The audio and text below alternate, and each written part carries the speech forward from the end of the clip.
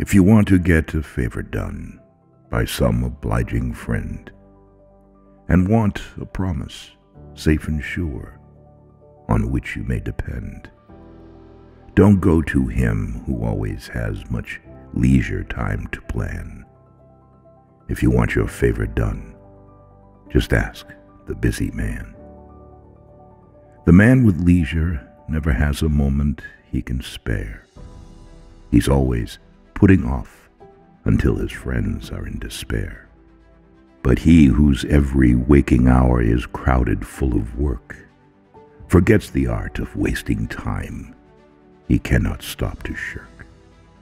So when you want a favor done, and want it right away, go to the man who constantly works 20 hours a day.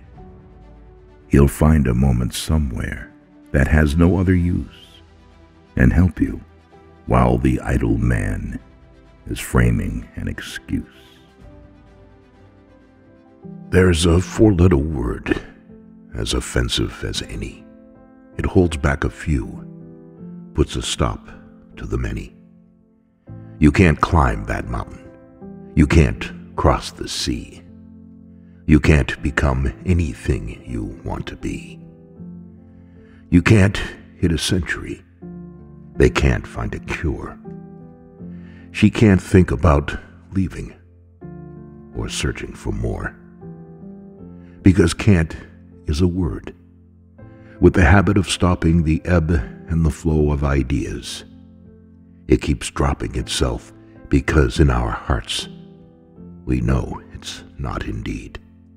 And saying don't go when we could have succeeded.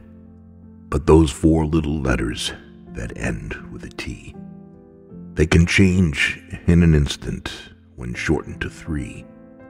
We can take off the T. We can do it today. We can move forward, not back. We can find our way.